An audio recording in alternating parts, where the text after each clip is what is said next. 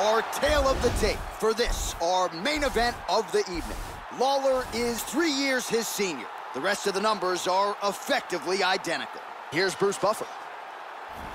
Ladies and gentlemen, this is the main event of the evening. Ready, fight? Ready. All right, here we go. Will we crown a new UFC welterweight champion tonight? It is time to find out. So he won the championship fight the last time by vicious knockout. So you can expect not just a bigger gate tonight, more pay-per-view buys. This guy's Twitter following has really soared on the strength of what he was able to do in a championship setting his last time out. So he's not putting any undue pressure on himself to get the finish here tonight. But if his last performance is any indication, we could be looking at something special yet again here tonight.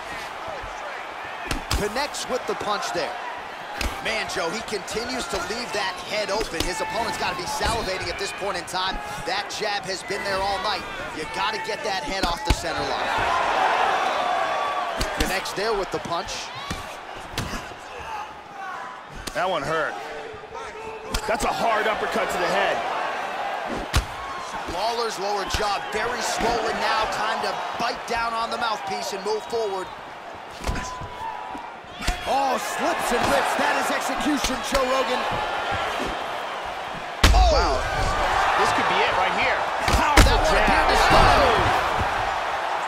Oh! oh! He's up. Nice leg kick.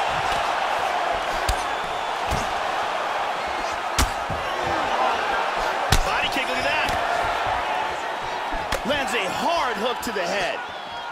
He changes stances and switches southpaw. And